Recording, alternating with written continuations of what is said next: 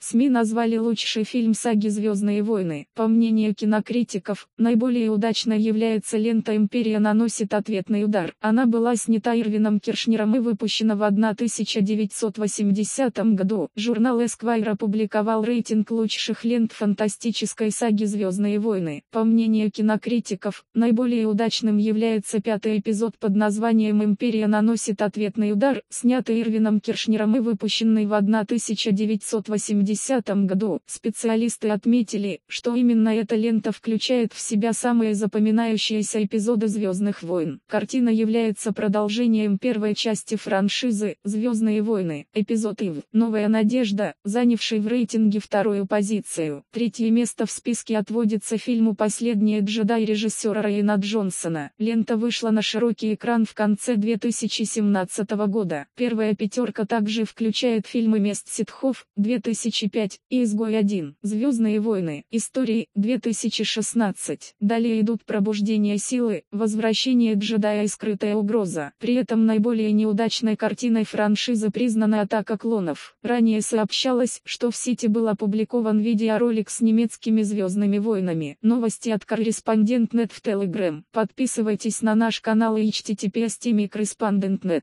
По материалам сайта Newsgro.com.